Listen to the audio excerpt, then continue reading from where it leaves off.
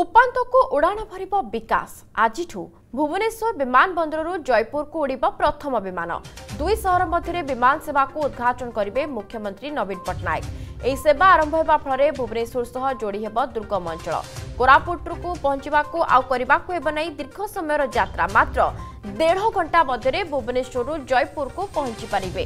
India One Air ବିମାନ company ଏହି ସେବା ଯୋଗାଇ ଦେବ ସପ୍ତାହରେ ସବୁଦିନ ଭୁବନେଶ୍ୱରରୁ ଜୟପୁରକୁ ବିମାନ ଯାଞ୍ଚ କରିବ ଏହା ପୂର୍ବରୁ କେନ୍ଦ୍ର ସରକାରଙ୍କ ଉଡ଼ାଣ ଯୋଜନାରେ ଜୟପୁର ବିମାନ ବନ୍ଦରକୁ ବିମାନ ଉଡ଼ାଣ ନେଇ ଅନୁମତି ମିଳିସାରିଛି ଭୁବନେଶ୍ୱରରୁ ଜୟପୁରକୁ ବିମାନ ଚଳାଚଳ ଦ୍ୱାରା ପୁରା ଦକ୍ଷିଣ ଓଡ଼ିଶା ସହ ରାଜଧାନୀର ଦୂରତା କମ୍ ହେବ